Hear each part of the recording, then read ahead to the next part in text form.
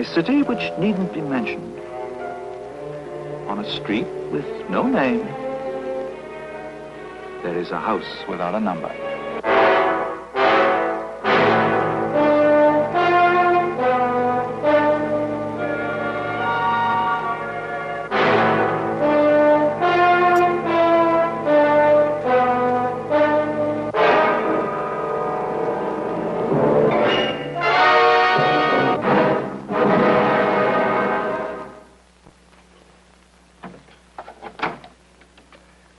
To the house of... Oh, let me see. What did I say my name was? Well, no matter. The name is false, and the passport's forged. But then in my line of work, nothing is ever what it seems. I don't mean elaborate disguise. Only the amateur goes on a mission as if it were a masquerade party. False mustaches make excellent targets for firing squads. Take me, for instance.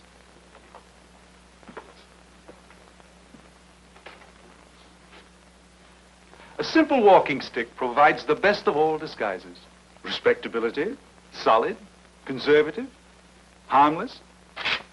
But, as I said, things are not always what they seem. As a matter of fact, the young American lady who last used this instrument was not exactly what she seemed to be either. Espionage in the Federal Army of the Shenandoah. Belle Boyd was an accomplished professional spy. They were absolutely wrong. She was an accomplished amateur spy. Although in a bloody civil war, which was fought almost entirely by amateurs, her lack of professional training was not the handicap it would be today.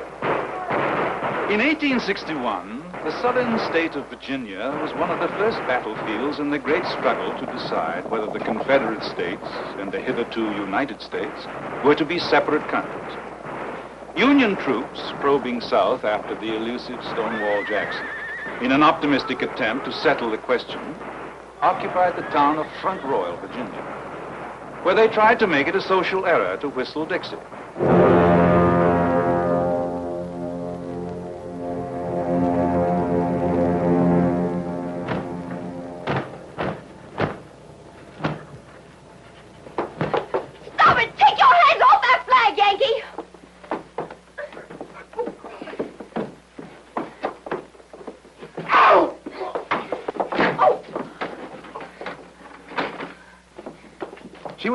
Fiery slip of a girl named Belle Boyd. She had no attributes of a spy whatsoever, neither cleverness, nor ingenuity, nor contacts. She had only a passion for the Confederacy and the fact that she was a woman on her side. But she lived in an age when sometimes that was enough. Certainly it was enough for the commander of the occupying force, Major General James Shields. You're Miss Boyd, Miss Isabel Boyd? Baptized, Isabel. But Lord, nobody in Front Royal know me by that calling. I answer a Belle since so high. Sit down, please. Miss Boyd, you look to me like a girl of good breeding and character. Why, thank you, General Shields. Pride's a girl to hear that. Thank you. Well, Miss Boyd, do you think it proper then for a young girl of 19 to go about slashing soldiers with sword canes? Even Union soldiers? Well, I don't know what came over me, General. I, I declare, I just don't. Well, I, I saw that soldier boy tearing at that flag, and then well, everything went kind of black. That was a flag of rebellion, Miss Boyd. So was your flag once, General. Would you like a Britisher to go tearing into your daddy's hotel while he's off fighting and, and just rip it down? Miss Boyd, there are people here in Front Royal that say I ought to put you in the lockup. That you're a hot-headed rebel, never reform. Oh, the terrible, jealous-tongued people. Now, Miss Belle, if I forget all about this, I don't want to hear anything more about you. General Shields, I'm a Virginia woman. And when a Virginia woman gives her word, even to a northern gentleman, she keeps it. Oh, I won't be troublesome again, I promise. All right, Miss Boyd. Go on now. And remember your promise. Oh, thank you kindly, General. I won't make any more mistakes. With her idol, Stonewall Jackson, bivouacked only seven miles away, Belle Boyd, without authorization or training, undertook to supply him with whatever intelligence would help him restore the stars and bars over Front Royal. And I counted 16 cannons and later saw seven in the workshop. They were thicker than saw logs, and the Yankees call them 12 pounders, though I'm sure they weigh a pound more than that. Yours for Southern rights and sacred honor, Belle Boyd. Incredible as it may seem, these naive and sometimes useful little notes were somehow actually delivered to General Jackson. But Belle was not content to let others take her risks. And she was determined to seek out the one man who could give her amateur patriotism some professional standing.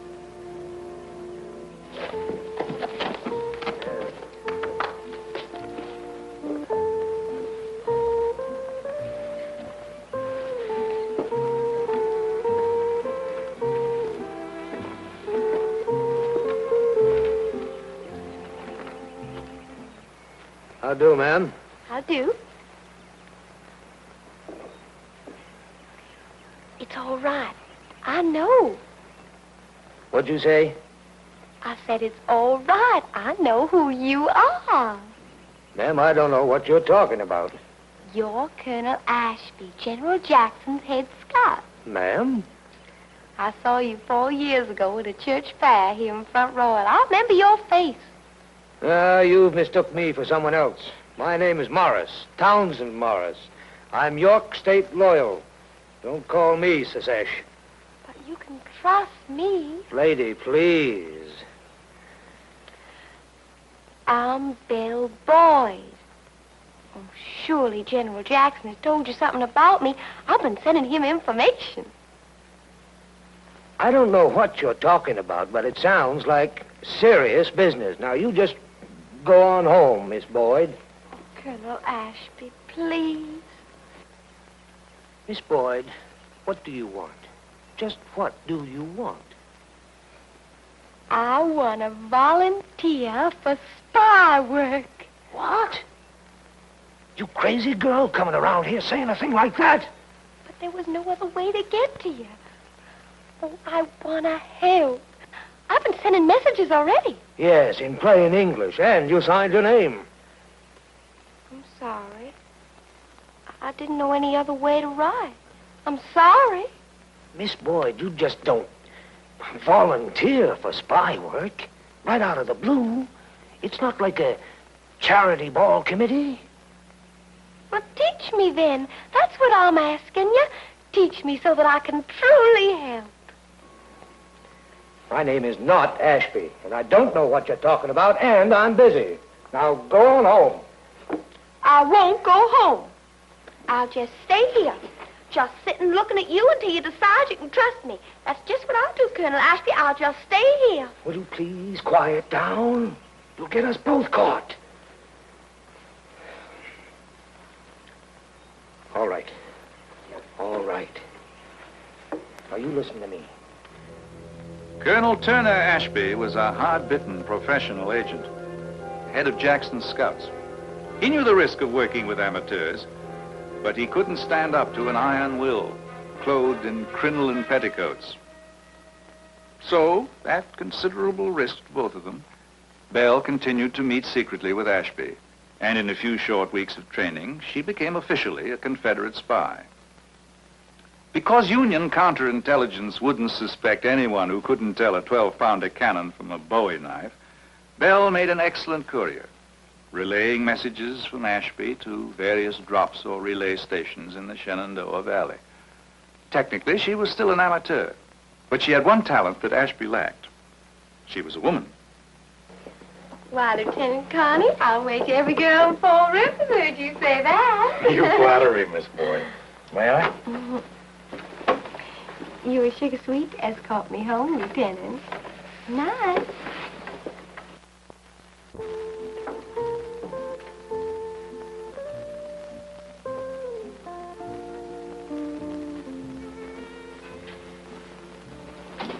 Belle. anybody comes in, I was looking for a room and stumbled in here by mistake. You can be highly indignant and order me out. Bill, that lieutenant is from the provost marshal's office. I know. He thinks I dance a mite too wickedly, but otherwise he trusts me. Strikes me you're taking the chances. I had to see you right away.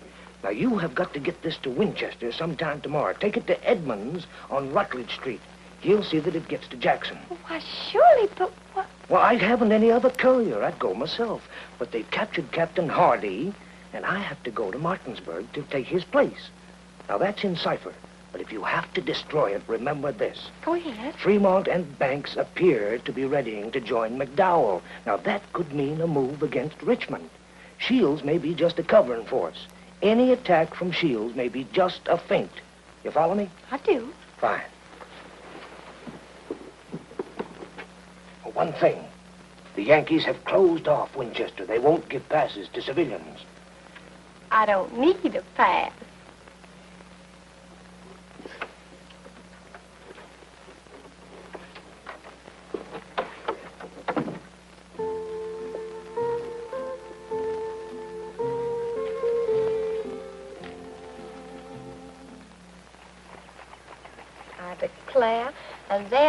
Girl was, her ankles showing just like this and everything.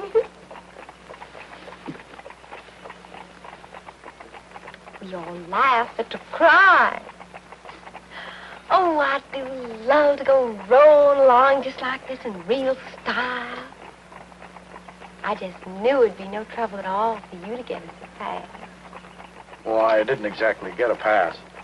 I don't reckon we need one to go to Winchester on military business. After all, what are these pumpkin rinds for? Why, we're slowing down. Yes, we are. Maybe your horse is hurt. Hey, what's wrong? Why are we stopping? It's funny. I'll find out what it is in a minute. Will you come out, please? Now, look here. You will come out, please, and bring all your things with you. Mister, I'm an officer in the Union Army. And who are you? Walters. Federal Army detective. Now will you come out, please? I have a wagon waiting.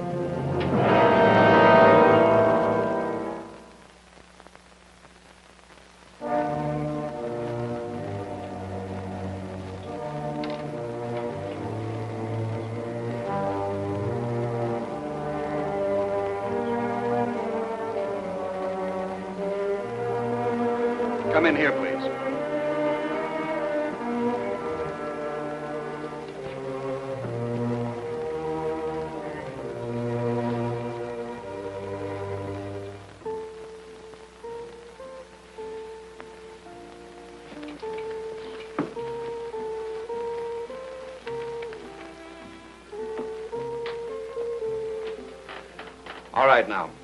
There are no accusations. We are merely acting on some information that we've received about you. Miss Belle Boyd, isn't it? Might be, sir. If we were properly introduced. Perhaps we can be. We know some of the same people, I think. Did you get your information from that old Martha May Richards? She's just being spiteful. Now, see here. This lady happens to be under my protection, Mr. Walters. Major Walters, Lieutenant. Oh. You're in the Provost Marshal's office, aren't you, Lieutenant? Yes, I am, sir. Then presumably you were traveling toward Winchester on official military business? Well, yes, of course. I heard there were some stragglers from the 3rd Illinois, and I... You may be seated, Miss Boyd. In my own house? Thank you for your courtesy. I'll stand. Then, Lieutenant, Miss Boyd was your prisoner? Prisoner? I was traveling for personal reasons, mister. Visiting my cousin Amanda on Albemarle Street. And if that's a threat to the Republic... That remains to be seen, Miss Boyd. Will you remove your shoes, please? Now, look here, sir. Try to restrain your sense of chivalry, Lieutenant.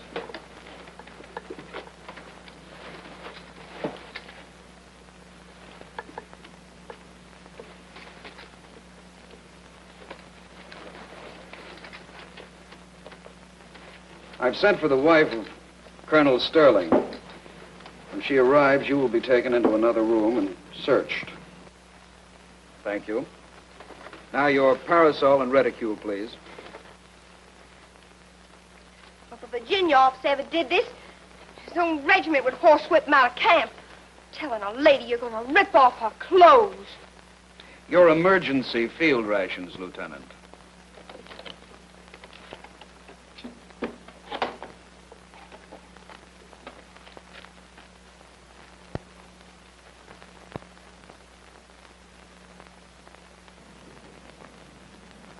I presume you packed this basket, Miss Boyd. Indeed, I did. The folks in Winchester have just been starving ever since you Yankees invaded it. That food was for my cousin Amanda. Is your cousin Amanda partial to poison? Just what do you mean, poison? I mean this, the Virginia Resister. This is a seditious newspaper, Miss Boyd. Its publication has been forbidden. Mere possession of a single copy is an act of treason. Belle! On my honor, sir, I didn't know. How Abe Lincoln burned my farm. Banks, the butcher, now called baby murderer. Enlistments open in Kenyon's Yankee killers. How does it feel, Lieutenant, to be an accomplice to an incendiary? Well, you see, sir, I didn't know. All right. What's this all about, Walters? May I see you, sir?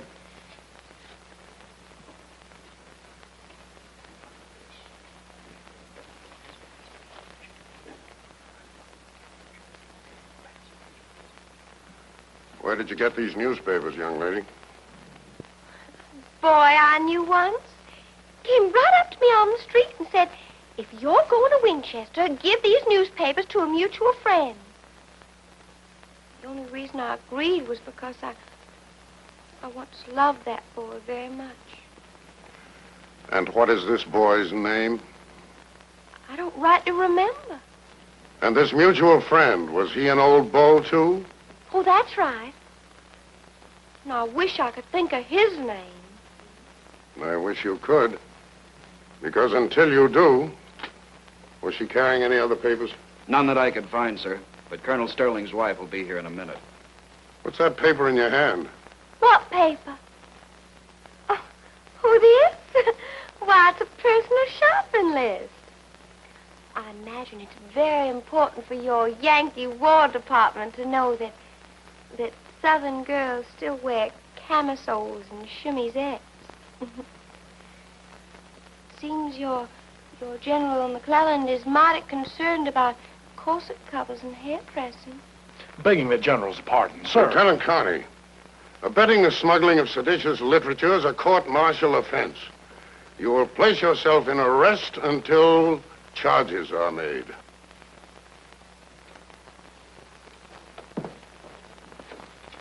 What is it?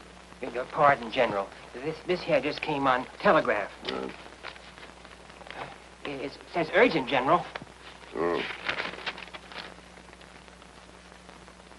Walters, you can go.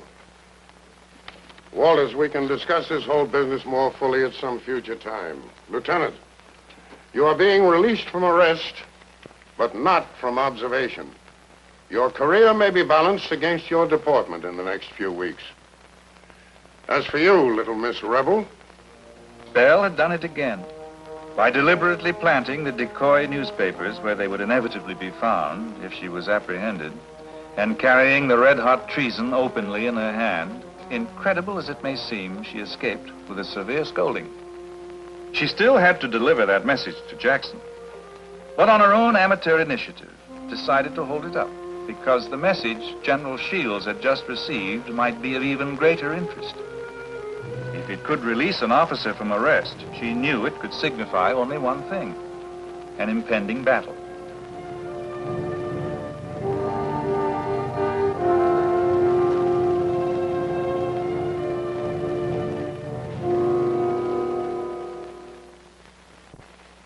Where's the key to this door, Miss Belle? The dining room?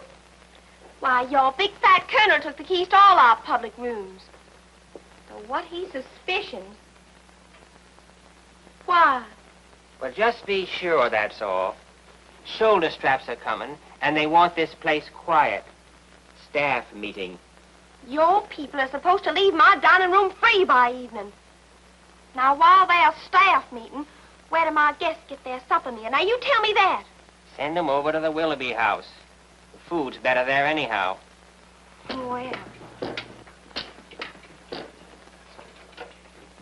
Officers meeting in her dining room were Yankee enough arrogance to Belle. But when their shoulder straps bore as many stars as these, and the shoulders were attached to faces she recognized from the illustrated papers, she knew this was going to be something special. Where are you going? Well, is that a gentlemanly thing to ask of a lady?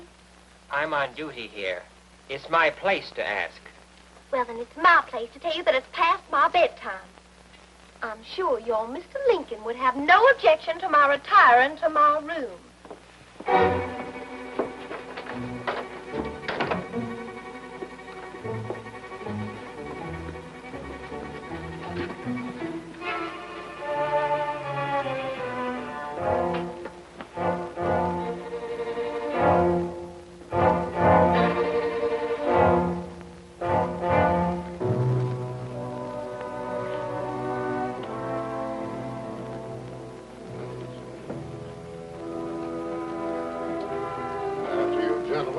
Studied these thoroughly,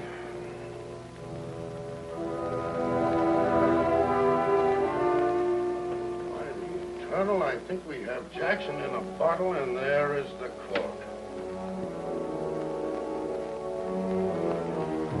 I'm we've got his scout's fool, too. He thinks you've withdrawn in order to be with McDowell in front of Richmond. Now, that makes him bold. This is an excellent piece of business, gentlemen. With that valley blocked off, we can cut him to pieces. Belle Boyd was no military genius, but she had heard enough to know that if she had delivered her first message, she'd have lulled Jackson into a fatal sense of false security. A trap was being prepared, that much she knew.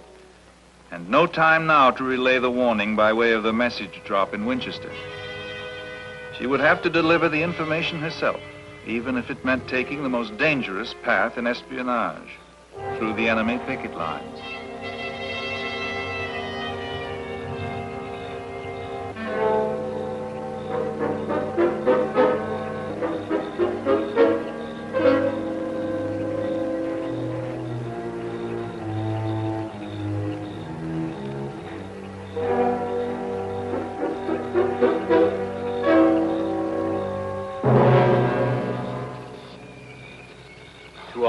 Only, the book of regulations says. We've been in these murdering woods with no relief since. Silence now. I heard something.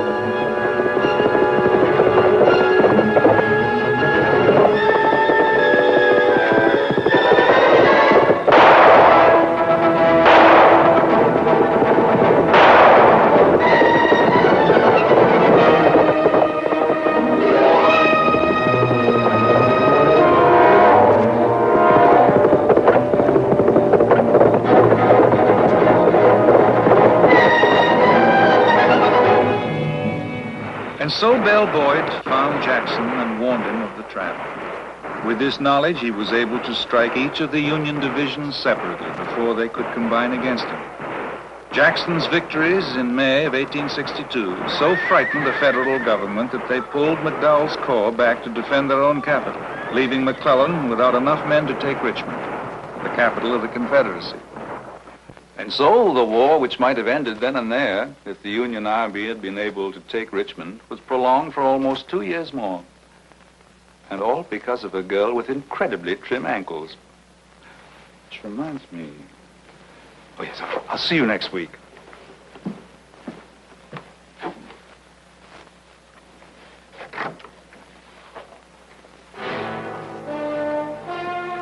Respectability.